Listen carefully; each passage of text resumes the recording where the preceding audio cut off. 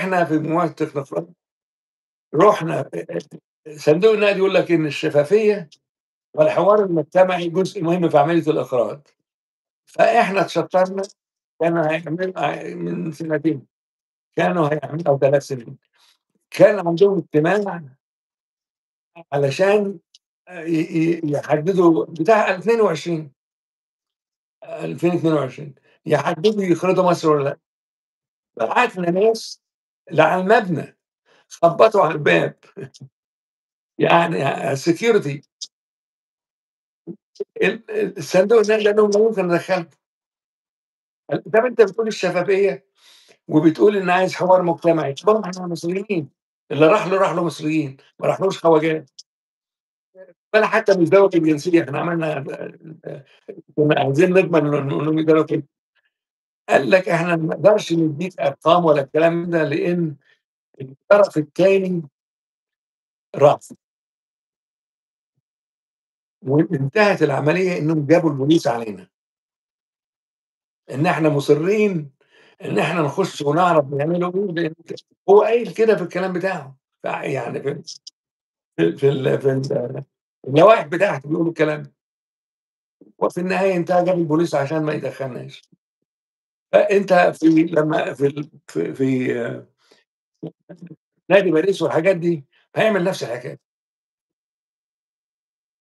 لحد فترة يومًا ما جون فيليب بيسأل حضرتك ليه انتخبت ترامب؟ أنا انتخبت ترامب؟ لأ أنا لأ أنا ال أنت ما تعرفنيش. أنا بانتخب في أمريكا بانتخب اللي أنا عايز أنتخبه. آه، آآ يعني أنا كنت عضو في الحزب الديمقراطي. استقلت منه لمّا آآ بايدن راح مصر وحط إيده على على كتف راجل في البلد.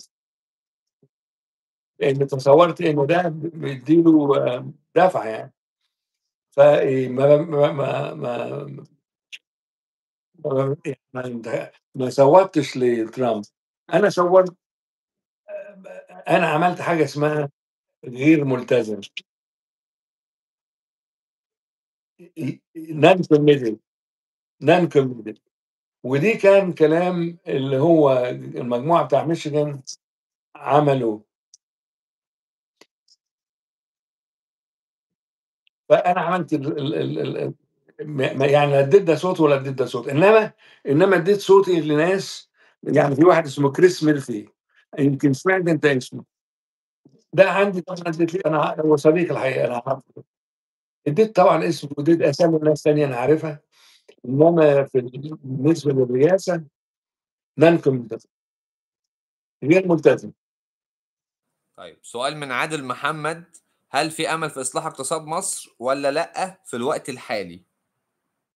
آه لأ في أمل ت آآ آآ لو حصل تغيير لأ في في النظام الحالي في النظام الحالي ما أنت شايف. يعني حد ييجي يقول لك أنا عندي إصلاح اقتصادي لمّا ييجي صندوق النقد ويحط عليك ضرايب ويحط عليك تعويم ويحط عليك ده هل ده إصلاح اقتصادي؟ إصلاح اقتصادي إيه ده؟ ده هو بيجمّع الفلوس عشان يقبض تاني. فإن إن و وقاعدين قرفانين 3 شهور 3 أسابيع بيت بيتفاوضوا على نفس العملية، ده مش ما هوش إصلاح اقتصادي. إنما لو لو في تغيير في خلال شهر مصر دي هيبقى عندها أموال تسمح لها إنها تعيش زي ما في خلال ليه؟ في خلال شهر ممكن مصر يبقى عندها أموال تعيش كويس؟ هتجمّع أنت هتعمل بقى أنت هتعمل وحدة ميزانية. آه. أ أنت بتعمل وحدة ميزانية. أنت ب الاقتصاد المصري ممزّق.